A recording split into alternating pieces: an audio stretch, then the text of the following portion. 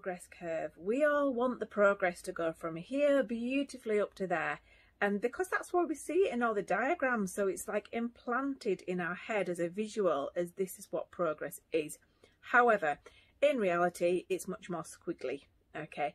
But it is still going up on some level generically. So we all start off very motivated in whatever we decide to do, you know, if we're ready for it. So for example, you want to start running, you want to get healthy and fit, you've just started a new project, you've just started a new job, um, you know, you, you've got a baby coming that you're excited for, you're getting married, you know, it all starts off feeling great, doesn't it? Otherwise, why are we doing it in the first place? Okay. And we can visualize, we can see the end results, and that's what makes us start, but it's not always what keeps us going okay? So what happens what tends to happen is on anything that you start out with you start off with this great motivation and then there is a natural plateau okay? This happens for lots of us for various various different reasons because that initial energy is waned off a bit and it's starting to sort of infiltrate your life more now. So after a few weeks you know they say it takes 21 days to change a habit. So after a few weeks um, you're having to put a little bit more effort in, a little bit more.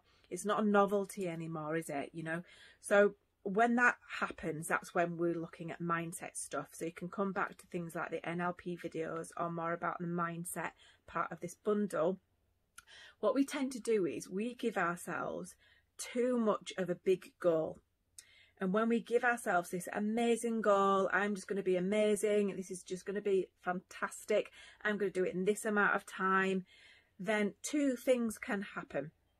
We either don't start, okay, we just carry on down that path, or we start and we reach this, this plateau and, and a dip and we give up thinking that we failed because you know what, we always fail. And that is a mindset thing and we'll come on to that on another video.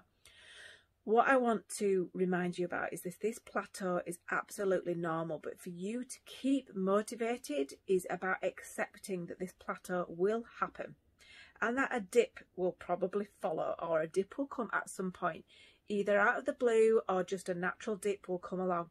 Now, I want you to remember that that doesn't mean that you are back at square one. It feels like that because you've been going up.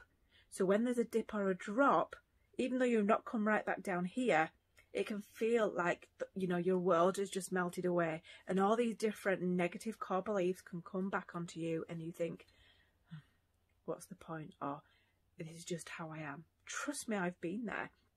And i was the kind of person that wanted to heal from adrenal fatigue in just a few months when i was at stage three okay? So it's working with the mind on this respect. So when there is a dip it's interesting when your mind is feeling a bit more active to look back at what happened before that dip. Was it a natural dip or was it that you overdid something? Was it that you, you fell off the healthy food wagon? You know, what was happening? Did you take on too much? Was it that particular person? Was it that you had a bad night's sleep? So these type of things help to build the puzzle of you to help you understand.